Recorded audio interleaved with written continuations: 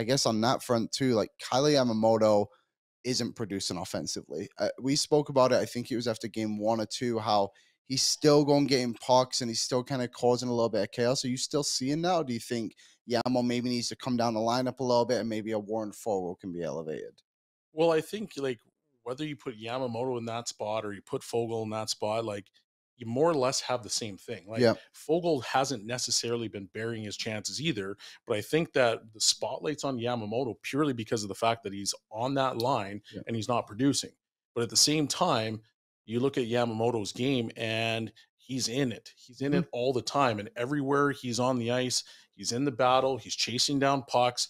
Obviously, that first goal, like maybe there could be, could have been a little bit more communication between him and Nurse, and maybe that prevents that goal. But outside of that, like he's a tenacious forechecker. He's actually fairly physical. Mhm. So you don't necessarily want to move guy a guy like that out of that lineup because once again, like he forechecks just as much as Draisaitl does, Oh, and yeah. he gets Draisaitl the puck. So or McDavid. So you know the spotlight's on Yamamoto, Mhm. obviously because of the money that he makes in the spot that he's in, but he's really not that bad of an option there. I, I completely agree, and I, I think at one point, at some point too, like, what are the expectations for him? Like, are we just expecting him to go out and score on every single mm. shift? Like for me, Yamo has always been that guy who's super streaky. He's either hot or freezing cold. There's really no in between, and he's gonna go out there. He's gonna hump pucks for sixty minutes, and he's gonna get him to one of the best players in the world who had was on the ice for all what five goals last night for the Edmonton Oilers. Like, I just don't know what the expectations really are for him.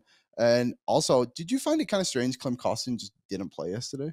Like for I I get it. Like the th- in the second period, you're chasing the game so much, but I was looking at his stats. Like he outshot his opponents three nothing, five on five. Like I didn't really think he made like a massive mistake, and even the penalty he took in game three where he like held down. I think it was Iafallo. Like it's a dumb penalty, but it's not like stupid misplay kind of thing. You know, it's kind of heat of the moment kind of thing. He's not just throwing his stick everywhere especially for a guy who scored such a vital goal and you're trying to get back. Like, just seems like a weird message to send. Did you see anything from Kostin that should have resulted in what happened?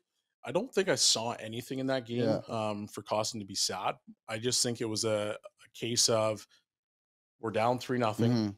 Um, we need to win this game because we do not want to come back to Edmonton down three one. Um, there was a lot on the line, and I think that the they just decided to go with the big boys. Yeah. And you know that obviously it sucks to be stapled to the bench, but a- at that time it's it's a do or die um, situation, and, and you've got two of the best players in the world. And you also got Kane, who has produced in the past. You've got Hyman, who's produced in the past. You've got some horses on your team that you got to get going. And you feel as a coach that they've got to, they give you a better chance to win than Kostin did. And that's really all it was.